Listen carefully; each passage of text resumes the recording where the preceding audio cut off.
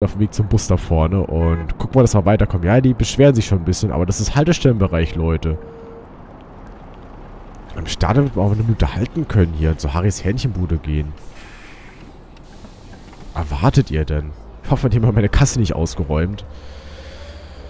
Ja, ansonsten, ist er, so ist es halt, ne? Da machst du nichts. Einmal hier rechts. Die Ansage wird auch gleich kommen. Genau. Die Bürkengasse. Und jetzt die letzten paar Stationen verbringen wir zum einen hier ein bisschen noch in dem, well, im, das ist das Industrieviertel? Nee, wir schauen mal, well, bisschen abbiegen. Linienführung, ja, wer hat, wer hat denn die Linie geplant? das Trauriges hin im Spiel, äh, ja, findest du leider immer selten einen Schuldigen außer dich selber. Ja, in dem Fall wird das dann wohl ich gewesen sein. Guten Tag. Einmal einsteigen, bitte. Guten Tag. Hallo. Ja, haben wir alle, haben wir alle. Ne, haben wir noch nicht alle. Was ist denn da? Da ist doch was. das habe ich gesehen, ohne dass ich die Tür zugemacht habe. So, das ist, das ist, also das, das ist der Busfahrerblick. Siehst sofort, wenn ein Fahrgast in der Tür steht. Und schön durch den Bus einmal Tür frei machen schreien kannst oder durchs Mikrofon schreien.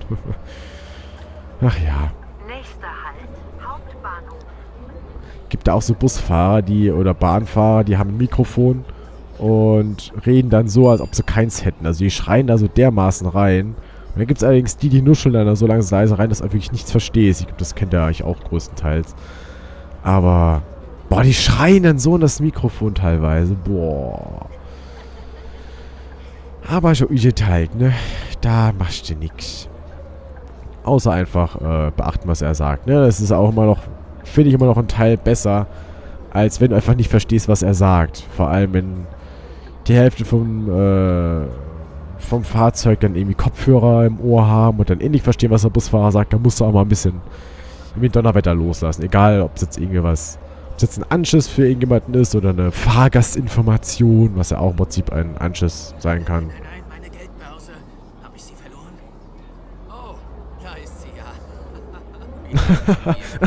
Wie dumm von mir. die habe ich ja bei Harry liegen lassen. ah, die Bällebusfahrer mitgebracht. oh, die riecht aber noch ein bisschen nach Hähnchen. ne, ist alles in Ordnung bei mir. Wirklich, braucht euch keine Gedanken machen. Ist alles super. Ist nur mal wieder schönes Wetter draußen, deswegen, das äh, hat man so selten. Hier, dann stellen wir uns doch da mal hin. Und ihr dürft auch gerade einmal einsteigen. Einen äh, schönen guten Tag. Niemand da. Die Kolonne verlässt schlagartig im Bus. Gut, aber es ist der Hauptbahnhof. Jetzt besteht Umstiege zum Fern- und Regionalverkehr der Deutschen Bahn sowie zur S-Bahn. Hat das hier noch jemanden... Der hier steht wieder jemand in der Tür. Das ist der Busfahrerblick. Das ist einfach der Busfahrerblick. Schön, okay. Aber das war, ich glaube, das war mehr Zufall jetzt die ganze Zeit als irgendwie können, aber das habe ich gesehen, ne? Immer schön Blick in den Spiegel, wie beim Autofahren, nur halt hier zugunsten anderer Menschen. Gut, das ist aber beim Autofahren auch nicht anders. Guckst du auch zugunsten anderer Menschen in den Spiegel. Ja, und zugunsten deines eigenen Fahrzeugs beispielsweise, aber das ist, äh, ja, das eigene Fahrzeug, ne? Und das eigene Wohl, pff. Gut, aber beim Bus ist es halt so, da klemmst du wirklich nur den anderen Fahrgast ein. Hast du halt die Probleme mit der, keine Ahnung, mit dem... Beides ist alles nicht schlimm, die Tür geht ja wieder auf. also von dem her so schlimm ist das alles ja gar nicht. Brauchst du nur da was reinhalten, die springt ja wieder auf. Wenn, das ist eine Drucklufttür meistens, die hat jetzt ja nicht so den Anpressdruck, dass du da irgendwie jetzt großartig zerquetscht werden würdest. Von dem her, das ist, das ist alles nicht so schlimm.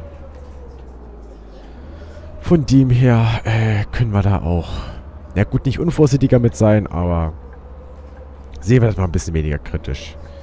So, einmal rein. Hier genau, und fahren noch diesen, diesen District hier ab. Also einmal diese, diese Schleife da nach rechts, dann die Schleife nach links. Das ist dann noch so ein bisschen das, was wir heute nochmal machen. Und dann sind wir ja auch da. Also, möchte mal einsteigen vielleicht. Glaub, Guten Tag. Fahrkarten. Okay, dann bekommen Sie 1, 2, 3 mehrere Fahrkarten. 10 Geld, sind wir bei 40 und reich. Ich wünsche Ihnen eine gute Fahrt, meine Dame. Und danke, mein Lieber. Oh, das hat noch nie jemand für mich gemacht. Mir Fahrkarten verkauft? Doch, ich glaube schon. Ob das Besonderes wäre. Für wen hat die drei Fahrkarten gekauft? Für alle ihre drei Persönlichkeiten wahrscheinlich.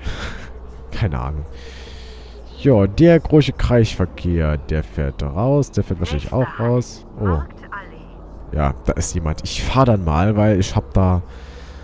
Ja, seit ich mal da so eine Begegnung mit so einem Fußgänger gehabt habe, da weiß ich, mit denen ist nicht so Spaß. Ne? Also Busfahrgäste, das geht ja noch.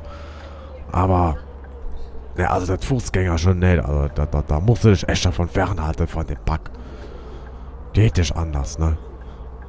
Da wird man aber doch sagen dürfen hier. ah, bitte alles ironisch sehen. Ach ja, ist das halt. Oh, das ist wieder der Harry, der für Filialen hat, ja, aber das ist ja... Ist ja unglaublich. Ne, es ist wirklich. Also der hat ja voll expandiert anscheinend in letzter Zeit, aber... That's just how it is. Boah, das geht aus dem Kopf. Das Problem ist, wenn ihr es jetzt seht, dann ist das alles so... Dann ist das alles schon wieder so ein bisschen inaktuell, aber...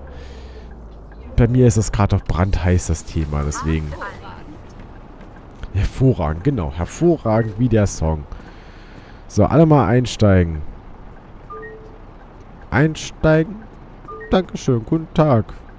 Zumindest ist mal einer zu mir vorne hergekommen. Ansonsten will auch keiner mit mir reden. Das ist in Ordnung. Also vier Minuten zu früh. Also eigentlich kannst du das keinem erzählen. Also in jedem anderen Spiel würdest du dafür sowas von einer auf den Dötz bekommen. Äh, weil es auch einfach nicht geht. Aber hier ist das anscheinend optimal, ne? Überpünktlich sein ist super. Nächster Halt, Arnichstraße. Ich meine, es hat natürlich seinen Vorteil, wenn du an der Endhaltestelle überpünktlich ankommst, aber überall, wo du halt Fahrgäste aufnehmen sollst, ähm, wird es halt schwierig, ne? Weil dann verpassen Fahrgäste den Bus. Ich meine, ich nehme mich da ja auch nicht aus. Ich bin ja auch einer, der dann wirklich irgendwie so die äh, Fahrzeit immer für ganz bare Münze nimmt. Ich bin meistens auch immer sehr knapp am Bus. Von dem her ist das, äh, ist das gar nicht so abwegig, gell? Ich schau mal, apropos Bus. Ich muss ja auch gleich weg. Äh, okay, gut, das ist ein bisschen zu spät. Dank der Bahnbus-App weiß ich immer, wie viel der Bus zu spät ist. Ich weiß, dass es sechs Minuten zu spät ist. Das heißt, ich kann mal wirklich wunderbar Zeit lassen, noch für die letzten paar Meterchen. Ah, ist auch super. Hat auch durchaus seine Vorteile, wenn der Bus mal zu spät ist. Hoffentlich kriegt die Bahn noch. Ah, gucken wir mal. Jo, ist da denn jemand? Ja, da ist noch jemand, der mit möchte, ne? Also angenommen, mein Bus wäre jetzt hier sechs Minuten zu früh. Ich glaube, dem würde ich die... Aber da würde ich... Nee, geht gar nicht. Ach ja, das ist mich an meine Geschichte, wo... Ach ja, die habe ich schon mal erzählt. In der Ein-Ruhe-Auffolge. Ach ja. Vom Busfahren, die viel zu früh waren. Und ach, das war... Das war... Das war ein Spaß. Nee, war es nicht. Nee, ist wirklich die erste Situation, wo ich wirklich gedacht habe, nee, das musst du jetzt irgendwie bei den, äh, beim Verkehrsbetrieb melden. Das kann es nicht sein. Was echt selten vorkommt. Aber so ist wie sechs Minuten Verfügung hier, das würde ich auch melden, ganz ehrlich. Und ich weiß, es ist nicht die zu dieser Haltestelle, sondern die zur nächsten, aber... Leopoldstraße Nord. Dies ist der letzte Halt. Bitte vergewissern Sie sich, all Ihre Habseligkeiten mitzunehmen, Ja gut, jetzt habe ich schon. Jetzt habe ich hier schon den Weg abgeschüttet. Da tut mir natürlich leid, aber hey. Was willst du da tun? Ich muss noch mal ganz kurz was gucken. Äh...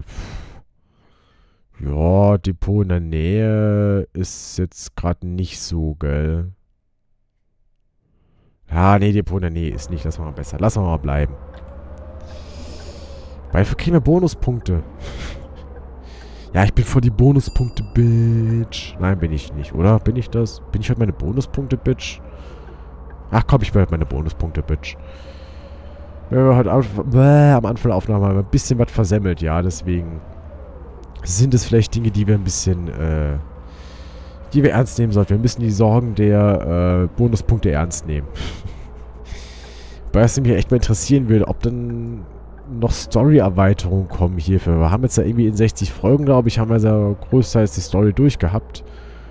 Ähm, ja, ist natürlich trotzdem eine ansehnliche Spielzeit, aber manchmal wäre halt noch so die eine oder andere Mission, wo man halt noch so ein bisschen Langzeitspielfaktor noch ein bisschen erhöhen kann. Wäre auch nicht verkehrt, aber... Naja, ich, ich Teil gucke mal einfach mal, ob da noch was ist oder ob da aber nichts ist. Vielleicht ist es auch mal so ein Story-DLC, was da mal kommt, weil ich habe ja gelesen, also damals, als eben das Citaro-DLC rauskam, hieß es ja auch, dass das nicht das letzte sein sollte. Was kommt? Die Frage ist ja natürlich, ob das, äh, ob spätere DLCs dann wieder Bus-DLCs sind oder Story-DLCs. Keine Ahnung, was Story-DLCs, nee, es ist eher so ein, ist, glaube ich, eher so ein Fall für einfach ein Update, finde ich. Das ist jetzt, äh, nicht sowas, was man, glaube ich, in Form eines DLCs sich kaufen möchte. Ein Story-DLC für einen Bus-Simulator. Ja, wobei, wenn er vielleicht noch eine Map... Ah, ich weiß nicht. Also man kann natürlich viel spekulieren, was da noch kommt. Aber...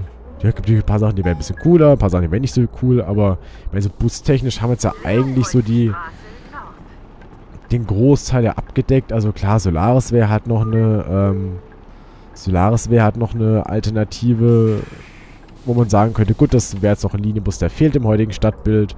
Weil sonst hat man hier eigentlich recht, recht ordentlich das äh, aktuelle Stadtbild komplett abgedeckt. Also Benz, die aktuelle Generation halt, dann MAN, die aktuelle Generation. Und dann hat man eigentlich echt schon den Großteil erschlagen.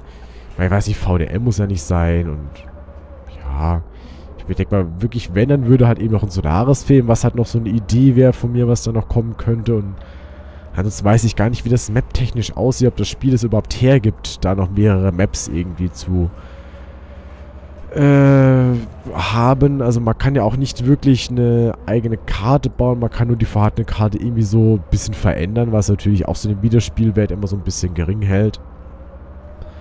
Wäre natürlich ganz cool, wenn es irgendwie so eine Überlandkarte gäbe oder so. Ähm, ich meine, gab es ja beispielsweise auch im Citybus-Simulator, gab es ja auch Karten. Das ist alles von einem anderen Entwicklerstudio gemacht.